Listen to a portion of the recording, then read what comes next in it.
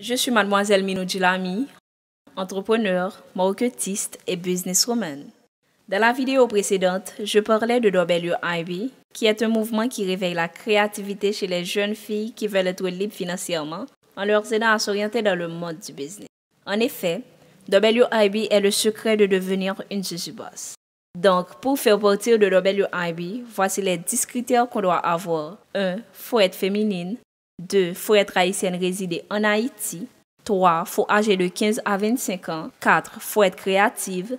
5. Faut avoir une idée sur le business en soi. 6. Faut avoir une bonne communication. 7. Faut être assidu. 8. Faut avoir un smartphone intelligent. 9. Faut être actif sur les réseaux sociaux. Instagram, Facebook, WhatsApp, Twitter, YouTube, TikTok, etc.